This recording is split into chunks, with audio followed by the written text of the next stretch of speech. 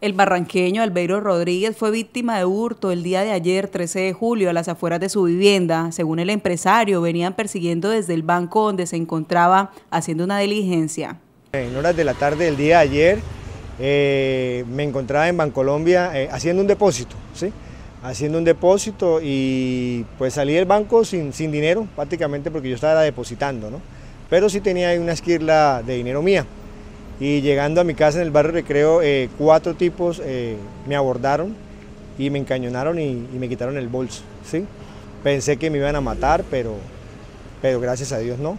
Solo venían por el bolso, pues yo tenía mi, cadena, mi anillo, mi reloj, el celular y no, no, solamente me quitaron el bolso. Eh, eran cuatro tipos eh, gracias a Dios, primero que todo, no me pasó nada, que es lo importante, lo material se recupera. Según Albeiro, hasta su casa llegaron cuatro hombres en dos motocicletas, donde lo encañonaron con arma de fuego, arrebatando sus pertenencias. Pero es triste, triste ver lo que está pasando en Barranca Bermeja.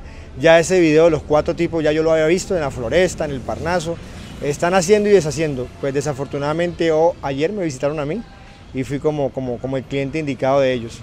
Eh, triste con, la Policía Nacional porque en ese momento pues llamo al 123, no contestan, llamo a la red de apoyo y no contestan, llamo a mi coronel que un día en una reunión me brindó la ayuda 24-7, no me contestó y quedé solo.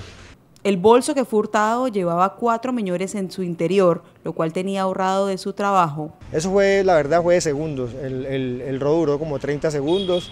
Los tipos, dos me apuntaron y no me dieron chance de nada, de nada, de nada.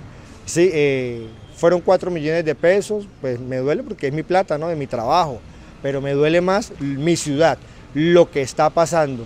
Hasta la fecha continúa la inseguridad en el distrito de Barranca Bermeja en hurtos y asesinatos, afectando a las familias barranqueñas.